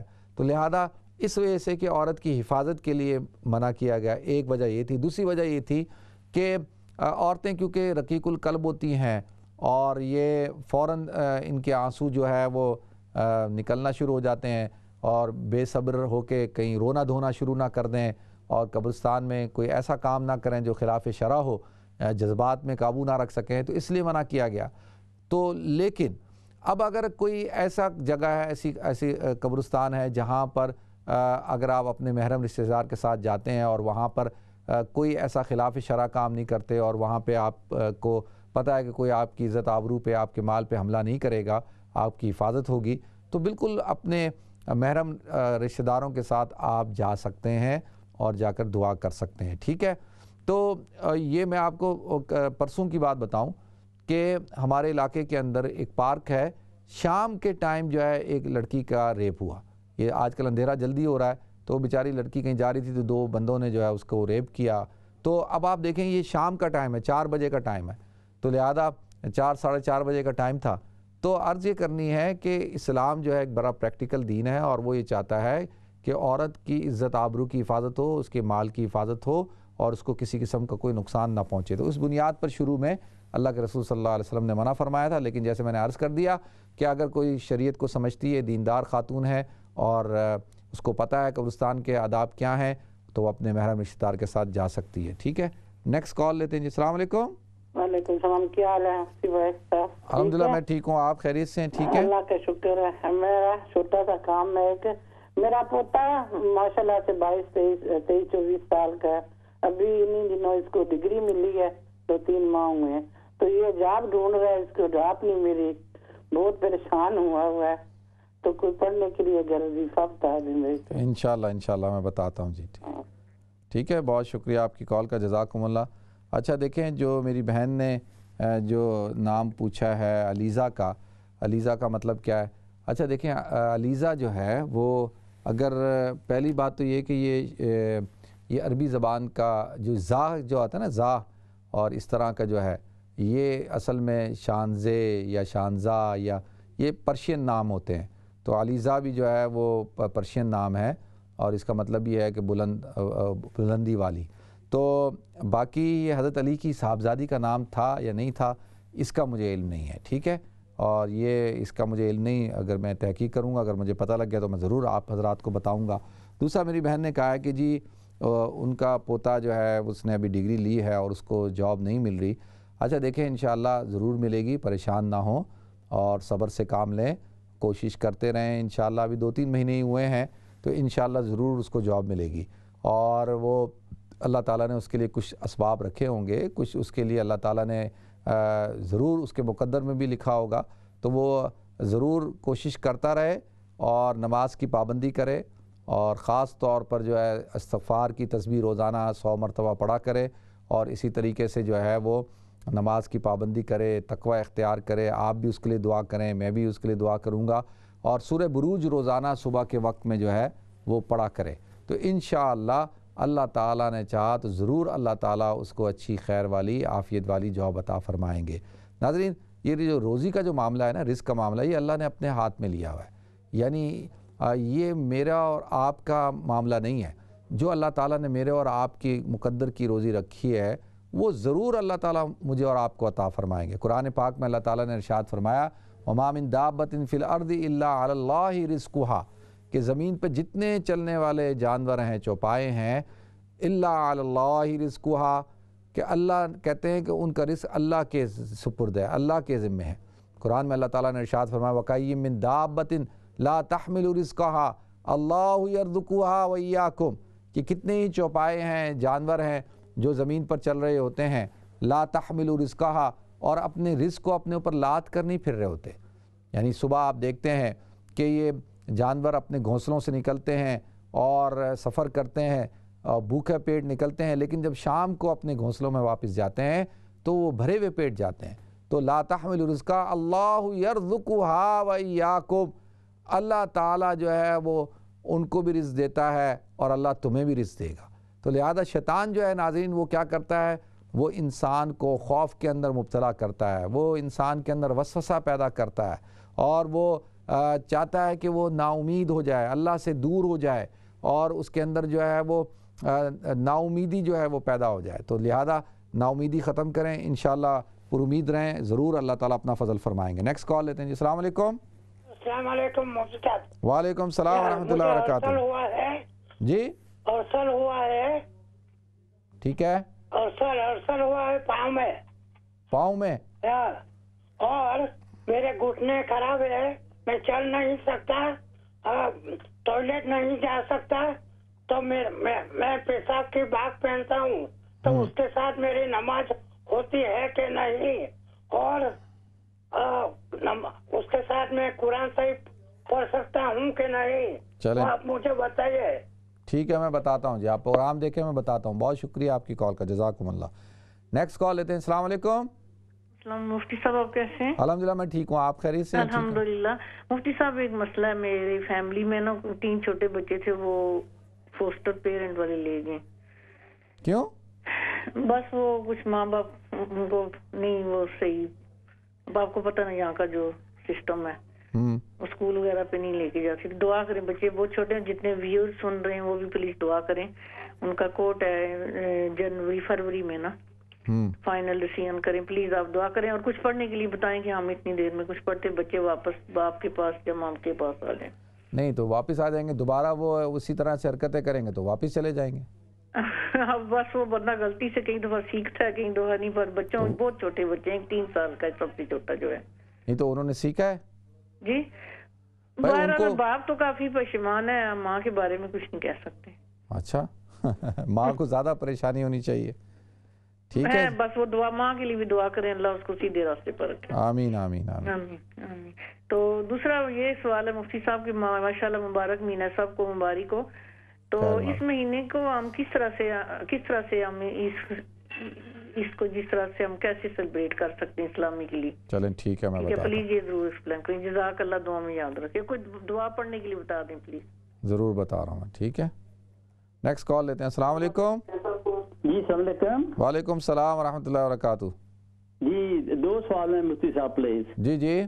ایک تو ہے کہ درود تاج پڑھنا کیسا ہے؟ ٹھیک ہے۔ دوسرے قرضہ ہوں۔ یہ جو مسجدوں کو یا اسلامی اداروں کو دیا جاتا ہے کیا اس کا واپس لینا ٹھیک ہے یا واپس نہیں اس کو لینا ہے؟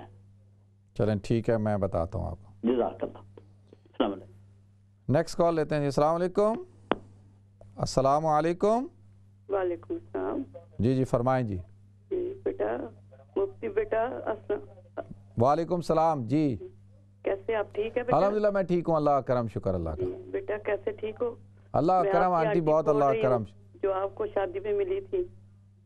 اس شادی پہ جو ملی تھی۔ ہاں جی میں نے کہا میں اپنے بیٹے کو فون کروں۔ اچھا بہت شکریہ۔ بہت اچھا پروگرام ہے بیٹا تیرا۔ اور ماشاءاللہ اچھا۔ آنٹی آپ اتنے اچھے پروگرام دے رہے ہیں۔ آپ سے ماشاءاللہ اللہ آپ کو کامیاب کرے صحت دے تندرستی دے بیٹا۔ اور آپ- میں ٹھیک ہوں الحمدللہ الحمدللہ بیٹا میں بالکل ٹھیک ہوں آپ کی دعا سے۔ اچھا جب میں آپ سے ملا آپ مجھ سے ملی اور جس شفقت اور محبت کا آپ نے اظہار کیا جس طرح سے ابھی آپ بیٹا بیٹا کہہ رہی ہیں اسی طرح محبت سے آپ پیش آئیں۔ اور یقین جانیے مجھے ایسا لگا جیسے میری اپنی والدہ جو ہے وہ مجھ سے پیار کر رہی ہیں یا مجھے مخاطب ہیں۔ بیٹا جی۔ آپ مفتی بھی ہو بیٹا ہے میرا تو۔ بہت زیادہ۔ بہت شکریہ۔ خوشی ہوئی اس دن میں نے آپ کو وہاں دیکھا تو مجھے بڑی خوشی ہوئی۔ تو آپ اور نے بڑے دنوں سے آپ کو یاد کرتی تھی کہ کئی نظر نہیں آتے ہیں۔ ہاں۔ تو اصل میں مجھے نمبر نہیں پتا تھا نا۔ ٹھیک تو ہے۔ پھر نمبر مجھے پتا چلے اسی لیے پھر میں نے یہ چینل دیکھنا نہیں تو جو۔ جو جو میں ٹی وی پہ نظر آتا ہوں وہ ٹی وی کے بغیر بھی تو ویسے ہی ہو نا۔ جی بالکل۔ آپ تو ماشاءاللہ اتنے اچھے بیٹے میرے۔ ہاں اللہ آپ کو برکت دے جی۔ بس دعاؤں میں بیٹا یاد رکھنا۔ میں اکثر جی جتنے بھی ہمارے جو ویورز ہیں آنٹیاں ہیں سب سے کہتا ہوں کہ بھائی اللہ نے اگر لکھا ہوگا ملنا تو اللہ کہیں نہ کہیں ضرور ملاقات کروائے گا انشاءاللہ۔ بہت شکریہ آنٹی آپ کی کال کا جزاکم اللہ۔ آپ کی محبت کا بہت شکریہ۔ جواب دے لوں؟ السلام علیکم۔ وعلیکم السلام۔ مفتی صاحب عدیل بات کر رہا ہوں۔ جی جی کیسے ہیں؟ آپ ٹھیک ہیں دل اللہ کا شکر ہے خیریت سے۔ آپ کا پروگرام میں کافی عرصے سے دیکھ رہا ہوں اور ماشاءاللہ آپ سے مطلب ہم بہت کچھ سیکھتے ہیں۔ شکریہ۔ اللہ دے اچھا پوچھنا تھا کوشچن یہ تھا کہ میرے بیٹے کا نام میں نے ماشاءاللہ اس کی عمر چھ سال ہے اس کا نام میں نے سبحان رکھا ہے۔ ٹھیک ہے۔ مجھے کسی نے بتایا کہ سبحان کیونکہ سبحان اللہ اللہ سے ریلیٹ ہے تو آپ یہ نام نہیں تو نہیں رکھ سکتے۔ صرف سبحان آگے پیچھے کچھ ہوگا نا اس کے؟ ہاں سبحان سبحان عدیل صدیق میرا پورا نام اس کا۔ سبحان عدیل صدیقی نام ہے اس کا۔ جی جی۔ یعنی آپ سبحان صدیقی کہتے ہوں گے یا اس کا جو سبحان ہاں سبحان صدیق اس کو کہتے ہیں۔ اچھا چلیں ٹھیک ہے میں بتاتا ہوں۔ اور کتنے بچے ہیں آپ کے عدیل؟ میری بیٹی ہے ماشاءاللہ دس سال کی اس کا نام علیزہ ہے علیزہ صدیق۔ اچھا ماشاءاللہ ابھی ایک بچی کا پوچھ رہے تھے علیزہ کے بارے میں۔ اچھا ماشاءاللہ بہت ہاں اچھا میں جی۔ وہی بلکہ ابھی اس کو ویٹ ہی کر رہا تھا کسی نے اس کے نام کا بھی مطلب پوچھا تھا یا جی، جی۔ ابھی جواب دینا ہے۔ میں میں بتا دیا جواب دیا ہے میں نے۔ اچھا شاید میں آپ کو ویٹ کر رہا تھا اس لیے میں نے اپنے ٹی وی کی والیوم نیچے اچھا چلیں ٹھیک ہے۔ ٹھیک ہے صبح ریپیٹ ہوتا ہے اس میں دیکھ لیں یا ابھی میں بتا دیتا ہوں۔ ٹھیک ہے بہت شکریہ آپ کی کال کا جی اچھا جی ایک تو میری بہن نے کہا ہے کہ جی بھائی نے کہا ہے کہ جی ان کے پاؤں میں السر ہے اور کافی بیماریاں ہیں اور کافی ایشوز ہیں اور پیشاب کا بھی مسئلہ ہے یورین بیگ لگا ہوا ہے تو اب وہ کیا کریں؟ ان کو نماز پڑھنی ہے تو کیسے پڑھیں؟ اچھا دیکھیں میں نے کل بھی اپنے ایک بھائی کو بتایا تھا کہ جب نماز کا وقت ہو گیا، مثال کے طور پہ مغرب کی نماز کا وقت ہو گیا۔ اب آپ نے کیا کرنا ہے؟ آپ نے وہ جو یورین بیگ لگا ہوا ہے آپ کا، اس بیگ کو آپ نے صاف کر لینا ہے۔ اگر آپ بدل لیتے ہیں یعنی یہ تو میرے خیال میں ممکن نہیں ہے کہ دن میں آپ پانچ دفعہ بیگ بدلیں۔ ہاں یہ ضرور ہے کہ روزانہ بدل سکتے ہیں۔ تو اگر نماز کے وقت بدل لیں، اگر بدل نہیں سکتے تو اس کو صاف کر لیں اور اس کو خالی کر لیں، صاف کریں اور اس کے بعد جو ہے آپ وضو کریں اور وضو کر کے اس پورے وقت میں آپ نماز پڑھیں اور آپ کا وضو اگر اس میں یورین لیک بھی ہو رہا ہے یعنی اس بیگ میں آ بھی رہا ہے، تو اس سے آپ کا کا وضو نہیں ٹوٹے گا کیونکہ آپ معذور ہیں اور شریعت نے معذور کے لیے بڑی آسانی رکھی ہے۔ وہ ایک وضو سے اس وقت میں جتنی نمازیں پڑھنا چاہے، نمازیں پڑھ سکتا ہے، قرآن کی تلاوت کرے اور ذکر اذکار کرے، نوافل پڑھے۔ ٹھیک ہے؟ جسی طرح عشاء کا وقت ہوگا تو عشاء کے وقت میں آپ نے ایسے کرنا ہوگا۔ ٹھیک ہے؟ باقی اگر آپ وضو بھی نہیں کر سکتے، کہ آپ اتنے بیمار ہیں کہ آپ کہیں کہ جی میں وضو بھی مجھ سے نہیں ہو رہا، تو پھر آپ تیمم کر لیں اور تیمم کر کے نماز پڑھ لیں، ٹھیک ہے؟ تو اللہ تعالیٰ آپ کو صحت عطا فرمائے۔ یا سلام ہوں آپ کثرت کے ساتھ پڑھا کریں، یا سلام ہوں اللہ تعالیٰ آپ کو صحت عطا فرمائے۔ دوسرا، میری بہن نے کہا ہے کہ ان کی کسی فیملی کے اندر تین بچوں کو فوسٹر کر لیا گیا ہے۔ تو لہذا ان کا ان کا مقدمہ ہے اور ان کے ڈیسیجن ہونا ہے فروری میں، تو ان کے لیے دعا کریں۔ بالکل دعا بھی کریں گے اور ہمیں چاہیے کہ دیکھیں ہمارے جو والدین ہیں، ہمیں چاہیے ہم اپنے بچوں کا خیال رکھیں، اپنے بچوں کو ایک نعمت سمجھیں اور ان کے حقوق کو ادا کریں۔ جیسے میں نے پچھلے ہفتے ایک پورا پروگرام بچوں کے حقوق کے حوالے سے کیا تھا، تو لہذا آپ کی ذمہ داری بنتی ہے کہ آپ اپنے بچوں کو لک آفٹر کریں۔ اللہ نے اولاد دی ہے، تو اولاد کا آپ پر حق ہے کہ آپ ان کی صحیح تربیت کریں، ان کو دین سکھائیں، ان کی تعلیم و تربیت کا خیال رکھیں، ان کو آداب سکھائیں۔ اور ان کو ایک اچھا مسلمان بنائیں یہ آپ کی ذمہ داری ہے۔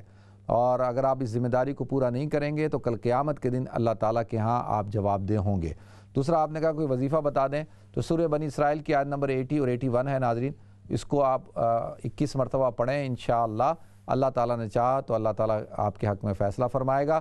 لیکن اللہ کا دستور ہے کہ بھئی آپ اپنی اصلاح بھی کریں۔ جن غلطیوں کی بنیاد پر یہ معاملہ ہوا ہے، ان غلطیوں کو آپ ٹھیک کرنے کی کوشش کریں۔ تو آج جب آپ توبہ کر لیں گے اور اپنی غلطیوں کو ٹھیک کرنے کی کوشش کریں گے اور توبہ بھی کریں گے پکے دل سے اور انشاءاللہ ارادہ کریں گے، تو پھر اللہ تعالیٰ کی مدد بھی آپ کے ساتھ ہوگی۔ لیکن خدا نہ خواستہ اگر آپ نے توبہ نہیں کی، اپنی غلطیوں کی صلاح نہیں کی، تو پھر یہ معاملہ اور وسٹ ہو جائے گا۔ تو آپ کی اولاد ایک بہت بڑی نعمت ہے جو آپ کے ہاتھوں سے نکل جائے گی۔ تو ایک دفعہ بچے اگر آپ کے ہاتھوں سے نکل گئے تو پھر وہ آپ کے تو نہیں رہیں گے۔ تو لہذا توبہ بھی کریں اور اپنی اصلاح بھی کریں اور نماز کی پابندی کریں۔ سورہ بنی اسرائیل کی آیت نمبر ایٹی اور ایٹی ون روزانہ اکیس مرتبہ پڑھا کریں، انشاءاللہ اللہ تعالیٰ اپنا فضل فرمائیں گے۔ دوسرا میرے بھائی نے سوال، میری بہن نے سوال پوچھا ہے کہ جی ربی الاول کو سیلیبریٹ کرنے کا کیا طریقہ ہے؟ اس کو کس طرح سے سیلیبریٹ کرتے ہیں؟ دیکھیں، اسلام کے اندر چاہے وہ عید ہو عید الاضحیٰ ہو، عید الفطر ہو، تو ہم عید الاضحیٰ، عید الفطر کو کیسے سیلیبریٹ کرتے ہیں؟ عید والے دن، عید الفطر والے دن ہم نماز پڑھتے ہیں اور جو ہے، ہم نماز پڑھ کے اللہ کا شکر ادا کرتے ہیں، اچھے کپڑے پہنتے ہیں اور غسل کرتے ہیں، نماز پڑھتے ہیں، یہی ہماری سیلیبریشن ہے۔ اسی طرح سے ہم عید الاضحیٰ سیلیبریٹ کرتے ہیں اور عید الاضحیٰ والے دن بھی ہم نماز پڑھتے ہیں، قربانی کرتے ہیں، گوشت پکاتے ہیں، کھاتے ہیں۔ اور اسی طریقے سے شادی ہو جائے، کوئی بھی خوشی ہو اور بچہ پیدا ہو تو کیا کرتے ہیں؟ حقیقہ کرتے ہیں اور رشتہ داروں کو گوشت کھلاتے ہیں، دوست احباب کو کھانا پکا کے کھلاتے ہیں۔ تو لہذا یہ اسلام کے سیلیبریشن کا طریقہ ہے۔ نبی کریم صلی اللہ علیہ وسلم نے ارشاد فرمایا کہ میں پیر کے دن پیدا ہوا اور پیر کے دن ہی جو ہے وہ مجھ پر قرآن نازل ہوا۔ تو لہذا میں پیر کے دن جو ہے وہ روزہ رکھتا ہوں۔ تو آپ نے وہ روزہ رکھا کیوں؟ کیا کہ آپ ایک تو پیر کے دن آپ کی ولادت ہوئی اور دوسرا آپ کے دن وہی کا سلسلہ شروع ہوا۔ تو آپ نے طریقہ کار بتا دیا کہ بھئی میں روزہ رکھتا ہوں تو اس سے پتہ چلا کہ مسلمان جو ہے اس کی خوشی کیا ہے؟ عبادت کرنا، صدقہ کرنا، زکا، خیرات کرنا، غریبوں کو لک آفٹر کرنا اور حضور اکرم صلی اللہ علیہ وسلم کی تعلیمات پر عمل کرنا، پروگرام کا کرنا۔ اور ان کی سیرت کو بیان کرنا اور ان کی شان بیان کرنا، یہ ساری چیزیں ٹھیک ہیں، لیکن حد سے تجاوز نہ کیا جائے، اسراف نہ کیا جائے اور شور شرابہ نہ کیا جائے اور ہر وہ کام نہ کیا جائے جو شریعت کے خلاف ہے۔ اور دیکھا جائے کہ حضرت بکر صدیق رضی اللہ تعالیٰ عنہ، حضرت عمر رضی اللہ تعالیٰ عنہ، حضرت عثمان رضی اللہ تعالیٰ عنہ، حضرت علی رضی اللہ تعالیٰ عنہ، یہ تو خلافہ راشدین ہیں۔ اور اس پہ تو کوئی شک نہیں کہ پوری کائنات میں نبی کریم صلی اللہ علیہ وسلم سے یہ حضرات سب سے زیادہ محبت کرتے تھے۔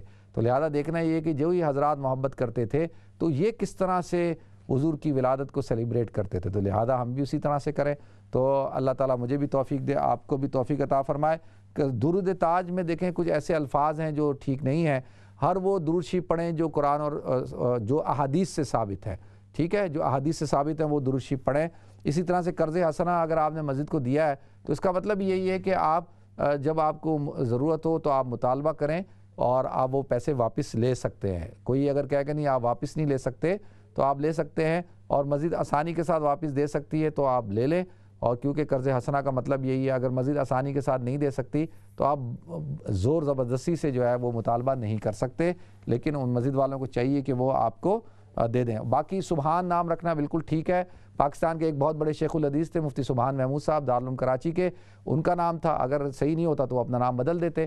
تو نام رکھنا بالکل ٹھیک ہے۔ ناظرین، ہمارے پروگرام کا وقت بالکل ختم ہو گیا۔ انشاءاللہ آپ سے نیکسٹ ویک ملاقات ہوگی۔ اپنا خیال رکھیے گا۔ السلام علیکم ورحمۃ اللہ وبرکاتہ۔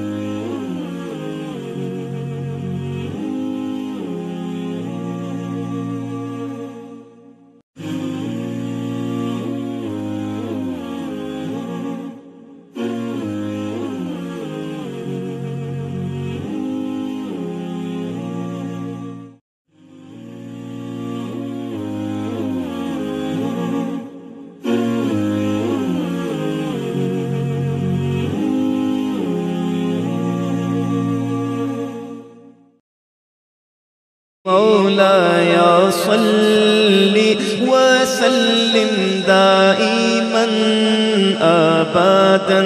على حبيبك خير الخلق كلهم.